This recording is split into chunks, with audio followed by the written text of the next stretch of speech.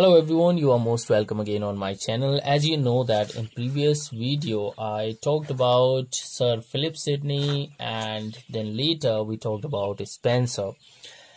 So we are going to go through in detail the faerie queene. And if you have not subscribed the channel let me tell you that we are doing history of english literature. We are doing uh, literary criticism as well. And some terms in English literature. We will cover nearly 200 terms in English literature. So if you have not subscribed, please do subscribe and help the channel to grow. Now let's talk about the Faerie Queene. Faerie Queene is finest work by Spenser and it was in installments. First three books were published in between 1589 to 90 the second three got published in 1596 and book fourth got published in 1609 when Shakespeare's uh, all the sonnets got published if you remember.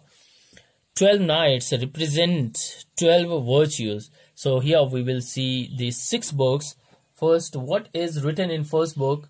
The Legend of the Knight of Red Cross. In the second book, The Legend of Sir Guyon and in book third the legend of Brito Martis. The fourth book is about the legend of Cambel and Triamond. The book four, fifth is about the legend of Artegall Book sixth, the legend of Sir Calidore. So if you want to buy all the notes of history of English literature, the notes like this, you can uh, send me WhatsApp message and I'll send you the PDF. The Faerie Queene is a religious allegory and ethical uh, allegory. Remember this thing. And we know that allegory, what is allegory? Allegory is uh, has usually representation of uh, an uh, idea or a person we show and it represents some ideas. The Red Cross Knight, here we have some uh, some characters which shows you know allegorical element it has. So the red cross knight is sidney. Next is una. And religious and protestant church it uh, represents. Religious and protestant church duessa. Mary queen of scotland and catholicism. So protestant una and duessa scotland scott catholicism. Mercilla mercilla is elizabeth Bourbon, Henry IV of France, Timias, Raleigh, and Blandamour and Paridel, Earl of Northumberland and Westmoreland. Here you can see uh, some. This whole book was in 12 segments. Six were in lifetime and six got published after death.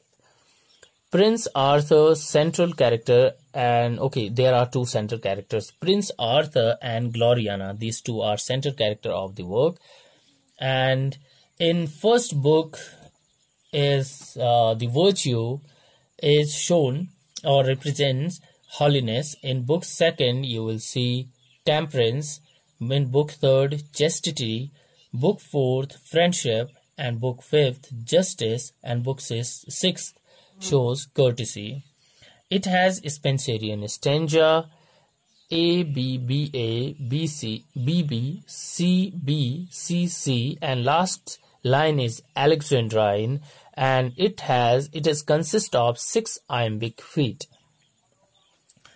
And some characteristics, important characteristics of uh, Renaissance, Renaissance in Spenser's poetry, you can see spirit of adventure you will find here a spirit of adventure and love for active life. Sensuousness you will find and love of beauty and influence of classical learning. So here we have completed complete notes on the faerie queene. If you like the video, please don't forget to share this video with others so that it can help me too. So see you in next video we will be talking about Christopher Marlowe in next video. Good luck for your exams. See you in next video.